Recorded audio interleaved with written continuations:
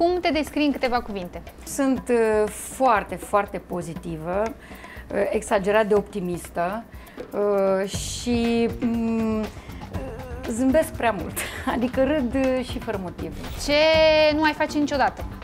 Nu mi-aș dezamăgi voit prietenii foarte apropiați sau familia, adică n-aș n-aș face rău sub nicio formă voit cuiva. Dacă se întâmplă accidental, asta e. Un lucru fără de care nu poți exista. Fără familie. Fără familie, mai nou și fără cățeluș. Avem și un cățel, dar familia este totul pentru mine. Ce te emoționează? Culmea e că pot să plâng și de la lucruri frumoase că s-a vindecat cineva, că a fost salvată o pisicuță, adică de la... mă emoționează, nu știu, lucrurile frumoase. O piesă pe care ai ascultat-o pe repeat?